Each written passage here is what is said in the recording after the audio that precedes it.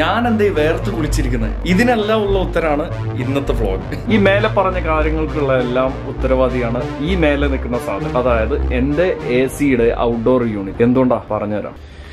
ഹോ അപ്പോ എന്താണ് സംഭവിച്ചത്? ഈ എ സിയുടെ കഥ പറയുവാണെങ്കിൽ ഒരു നാല് അഞ്ച് മാസമായിട്ട് എ സി എനിക്ക് പ്രശ്നം തന്നോണ്ടിരിക്കുക നല്ല പണി തന്നോണ്ടിരിക്കുക എല്ലാ മാസവും ഞാൻ ഈ സാധനം ഫിക്സ് ചെയ്യുന്നുണ്ട്. എന്തെങ്കിലുമൊക്കെ കേട് വന്നിട്ട് എ സി ഫിക്സ് ചെയ്യാൻ ആളെ വിളിക്കും. ഒരു മുന്നൂറ് നാനൂറ് ദിറംസ് കളയും. ഇതിന്റെ എ സിയുടെ മോട്ടർ ചേഞ്ച് ചെയ്തു എ സി ക്ലീൻ ചെയ്തു. പിന്നെ നോർമൽ സംഗതികൾ എ സി ക്ലീനിങ്ങും ഗ്യാസ് ഫില്ലിങ്ങും നമ്മൾ യൂഷ്വലി ചെയ്യേണ്ട കാര്യങ്ങളാണ്. അതെന്തായാലും ചെയ്യുന്നുണ്ട്. അതിന്റെ കൂടെ ഇതിന്റെ മോട്ടർ ചേഞ്ച് ഫാനിന്റെ മോട്ടർ ചേഞ്ച് ചെയ്തു തെർമോസ്റ്റാറ്റ് ചേഞ്ച് ചെയ്തു. പിന്നെ എന്തൊക്കെയോ കപ്പാസിറ്റർ എന്തൊക്കെയോ കുറെ സാധനങ്ങൾ പറഞ്ഞു. ഇതെല്ലാം ചേഞ്ച് ചെയ്തു. ഇതെല്ലാം കഴിഞ്ഞ് നാല് ദിവസം മുന്നേ വീണ്ടും എ സി കേട് ഈ എ സി കേട് വന്നവരെ വീണ്ടും ഞാൻ വിളിച്ചു പറഞ്ഞു ഓൾറെഡി ഞാൻ അവരുടെ അടുത്ത് പറഞ്ഞു ഇത്രയും പ്രോബ്ലംസ് വന്നിട്ടുണ്ട് ഇത് വീണ്ടും കേട് വന്നിട്ടുണ്ട്. എന്താണ് സംഗതി ഇന്നത്തോടെ തീരുമാനമാക്കണം എന്ന് പറഞ്ഞു. അങ്ങനെ അവർ ചെക്ക് ചെയ്ത് പറഞ്ഞ കംപ്രസർ കേടാണെന്ന്. കംപ്രസർ കേടാണെന്നുള്ളത് അത് എത്ര ചേഞ്ച് ചെയ്യാന്ന് ചോദിച്ചപ്പോൾ ഏകദേശം രണ്ടായിരം ദിവസം അതായത് ഒരു എ സിയുടെ സ്പ്ലിറ്റ് എ സി ഒരു one point five ton split A C വാങ്ങുന്നതിന്റെ അത്രയും പൈസയാവും. ഇതിന്റെ കംപ്രസർ ചേഞ്ച് ചെയ്യാൻ. ലാസ്റ്റ് രണ്ട് ദിവസമായിട്ട് ഞാൻ ആലോചിക്കായിരുന്നു എ സി ശരിയാക്കണോ അതോ വേറെ എ സി വാങ്ങണോ കാരണം ഇതിൽ രണ്ട് സൈഡ് ഉണ്ട്. ഒന്ന് ഞാൻ ഈ എ സിയുടെ കംപ്രസർ ചേഞ്ച് ചെയ്തതിൽ എനിക്ക് ഈ സാധനത്തിൽ ഒരു വിശ്വാസമില്ല അറിയാം കാരണം ഇത്രത്തോളം ഞാൻ സാധനങ്ങൾ ചേഞ്ച് ചെയ്തു. ഓരോന്ന് ഓരോന്ന് ചേഞ്ച് ചെയ്യുമ്പോൾ അടുത്ത സാധനം കേടുവരാം. രണ്ടാമത്തെ റീസൺ ഈ സാധനം ഞാൻ ഇപ്പൊ രണ്ടായിരം ദിവസം കൊടുത്ത് ഇത് നന്നാക്കിയാൽ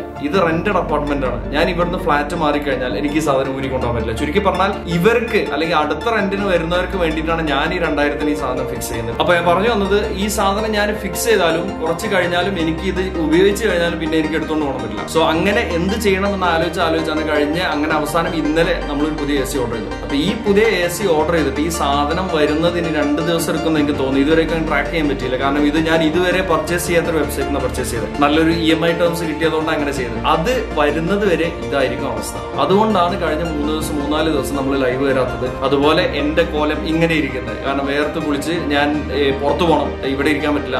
അപ്പൊ ഇതൊന്ന് കാണിച്ചു തരാൻ വേണ്ടിയിട്ടാണ് ഞാനിപ്പോ ഒരു വീഡിയോ ഇടുന്നത്. അതുപോലെ തന്നെ നമ്മുടെ ബ്ലോഗ് ചാനലിൽ ഒരു നല്ല തുടക്കാവട്ടെ എന്നുള്ളത്. നെഗറ്റീവ് ഒരു നെഗറ്റീവ് ടോപ്പിക് ആണെങ്കിൽ പോലും ഒരു തുടക്കാവട്ടെ വ്ളോഗ് ചാനൽ എന്തെങ്കിലുമൊക്കെ ചെയ്ത് തുടങ്ങിയിടണമല്ലോ. സോ അതുകൊണ്ട് ഇത് ബ്ലോഗ് ചാനൽ ഇവിടെ തുടക്കം കുറിക്കുകയാണ് ആദ്യത്തെ എപ്പിസോഡ് ഇനി എന്തൊക്കെയാ വരാൻ പോകുന്നതെന്ന് അറിയില്ല. ഇനി എന്നാണ് അടുത്ത എപ്പിസോഡ് വരുന്നതെന്ന് അറിയില്ല. പക്ഷെ ആരെങ്കിലും സബ്സ്ക്രൈബ് ചെയ്തിട്ടുണ്ടെങ്കിൽ വാച്ച് ചെയ്തിട്ടുണ്ടെങ്കിൽ ഇതിന്റെ താഴെ കമന്റ് ചെയ്യാം. അതുപോലെ തന്നെ ലൈവ് വാച്ച് ചെയ്യുന്നവർക്ക് രണ്ട് മൂന്ന് ദിവസത്തിനുള്ളിൽ നമ്മൾ തിരിച്ച് ലൈവ് വരും. റെഗുലർ ആയിട്ട് വരും. കഴിഞ്ഞ ഒന്ന് രണ്ടാഴ്ചയായിട്ട് നമുക്ക് റെഗുലർ ആവാൻ പറ്റില്ല. പല കാരണങ്ങളെ കൊണ്ട് പറ്റിയില്ല. പക്ഷേ ഈ ഒരു എ സി പ്രശ്നം തീർന്നു കഴിഞ്ഞാൽ കുറെ കാര്യങ്ങൾ ചെയ്യാണ്ട് കാരണം ഇന്നലെ ഞാൻ ഇരുന്നിട്ട് വീഡിയോ എഡിറ്റ് ചെയ്യാൻ നോക്കി. പക്ഷെ എ സി ഇല്ലാത്തത് കൊണ്ടും ചൂട് ഭയങ്കരമായിട്ട് കൂടിയത് കൊണ്ടും പി സി ഭയങ്കരമായിട്ട് ചൂടാവുന്നുണ്ട്. സോ ആ ഒരു റിസ്ക് എടുക്കേണ്ടതെന്ന് വെച്ചാൽ നമ്മുടെ തേർട്ടി ഫിഫ്റ്റി കരിഞ്ഞു പോയാൽ ഇനിയും അതിന് കാശ് മുടക്കാൻ എന്നെ കൊണ്ട് വയ്യ. അതുകൊണ്ട് ഇനി എ സി വന്നിട്ടേ പി സിയിൽ ഇരിക്കുള്ളൂ. സോ എ സി വന്നിട്ട് പി സിയിൽ ഇരുന്നിട്ട് ഇനി ബാക്കി കണ്ടന്റും ബാക്കി കാര്യങ്ങളെല്ലാം നമുക്ക് ഇനി അത് ചെയ്യാം. ഈ ഒരു വീഡിയോ എഡിറ്റ് ചെയ്യണമെങ്കിൽ മിക്കവാറും ഞാൻ ലാപ്ടോപ്പിൽ എഡിറ്റ് ചെയ്തിട്ട് ഇത് തീർക്കണം.